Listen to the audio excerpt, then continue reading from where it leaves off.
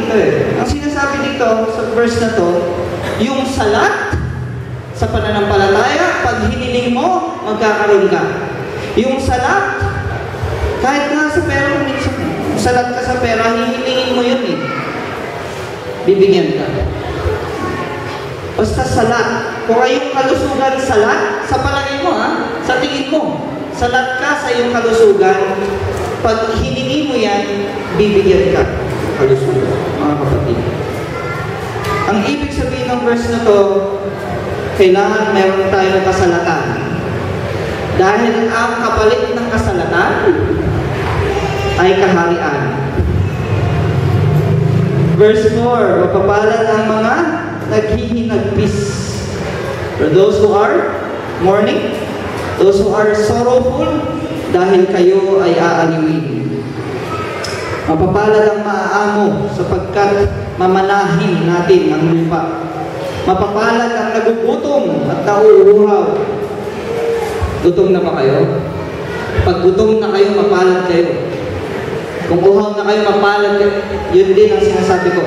Yung kasalatan na ating nararamdaman, saka tayo mabibigyan. Mapapalad ang mga mahabagin sapagkat sila'y kahangabagan. Mapalad ang may malinis na puso kapag dahil makikita natin ang Diyos.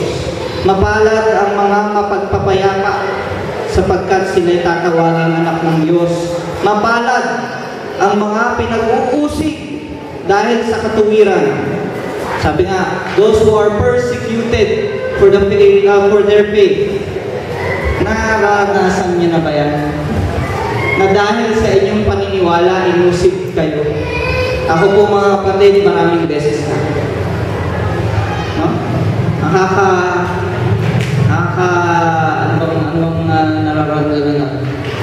Nakakapanumbalik sa ating Panginoon dahil nalalaman mo na sa pag-uusig ng tao laban sa iyong pananampalataya, wala kang ibang tatakbuhan kundi ang Panginoon, mga kapatid.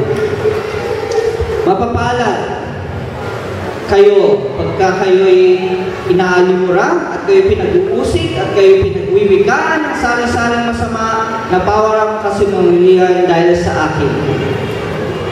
At sa verse 12, ito na. That's why we have to praise. That's why we have to rejoice. That's why we have to give thanks. Bakit? Mapalad tayo.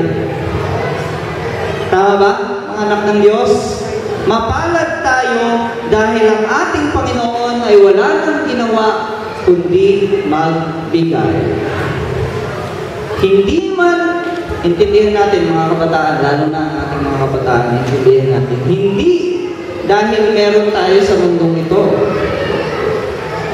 We can, can, pwede ba natin hilingin na si, si God ng, ano, ng bagong laptop? Kaya, pwede? Pwede natin ipag-pray? Pwede? Pwede. Pero ang tanong doon, bakit? No? Pwede ba natin hilingin mga magulang sana po, Lord, pag-graduate nila na anak ko? Pwede ba natin hilingin yon? Amen, pwede. Pero bakit? Pero bakit nga? Bakit?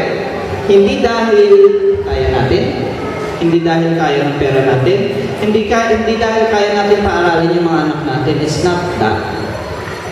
Kundi dahil ang Diyos ay mapagbigay pa rin. Ang punto, mga kapatid, ng CAA, kaya tayo nagpapasalamat ay dahil meron tayong ipagpapasalamat.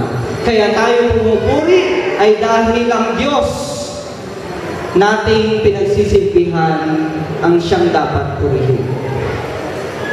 When we say praise, when we say thanks, when there is thanksgiving, and there is praise in CAA Church, kinikilala lang natin na ang ating Diyos ay mapagbigay.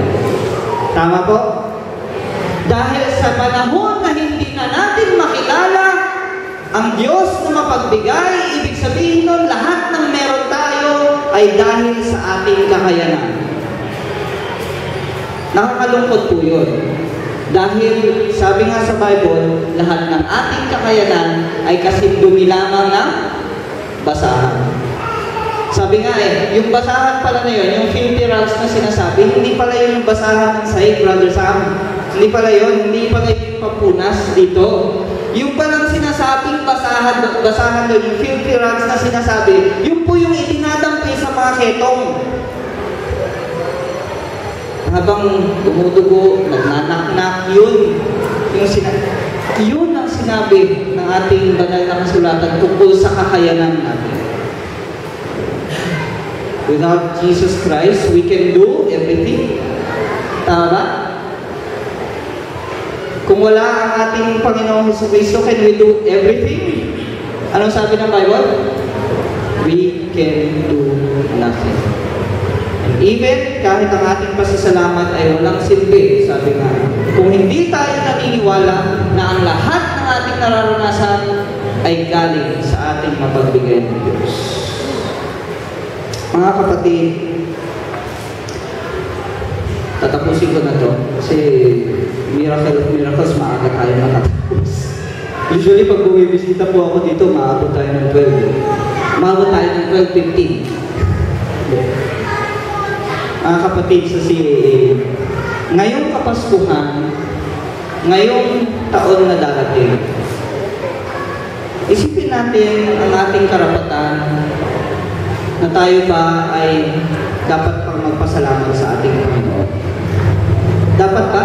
Dapat? Dapat. Pero yun ay dahil hindi sa kakayanan natin. Even our crusade, krusada na nangyari, oh, we have to rejoice, we have to be thankful. Ilan nga yung bibinyagan natin sa araw na ito, mga kapatid? Ilan po? Meron tayong siya. Praise God for the nine. Nandito ba sila? Na- Narito ba ating bibinyagan? Nandito yung dalawa. Tumayo nga tayo. Asan yung ating bibinyagan ng dalawa? Tayo po tayo. Ayun, na siguro, ah, nandun pa. Ah, nasa silver. Yun. We have, we can be thankful, no? We have to be thankful. Pero hindi dahil ginawa natin. Tandaan natin mga kapatid sa CAA, ibinigay ang siyam na binyagan na yan hindi dahil na kaya natin, kundi dahil mapagbigay ang Diyos. Tama? Hindi natin pwedeng sabihin, ay, nauna kami dyan eh. Balikan natin yung parable. Hindi yan una-unahan mga kapatid. Hindi rin yan patagalan. Hindi rin pala patibayan mga kapatid. Kundi tayo'y nabubuhay. Tayo'y may pagpapasalamat dahil sa Diyos na mapagbigay. His generosity is boundless. Yun yung ating sabihin sa mga nanghihina na ng loob dito sa ating iglesia mga kapatid. Huwag nating sabihin na, kapatid, baka kaya ka nanghihina ng loob kasi nahihila ka na ng, ah, ano ba yung tawag doon? Ng mundo. Oh, mada- lahat tayo pwedeng mahila ng mundo mga kapatid. Hindi yun. Ang ibig sabihin lang nun is baka naman nawawala na yung paningin natin sa Diyos na mapagbigay. Our God is a great God who gives. He is so generous. Hindi generosity na kagaya ng ninong. Hindi siya kagaya ng mga ninong at ninang na nagtatago pala pag Pasko. Ga- Gawain ba ng... gawain ba natin yan? Hindi naman, siguro. Hindi po ganun. God is a God who can give so much to us. All we need is to ask Him.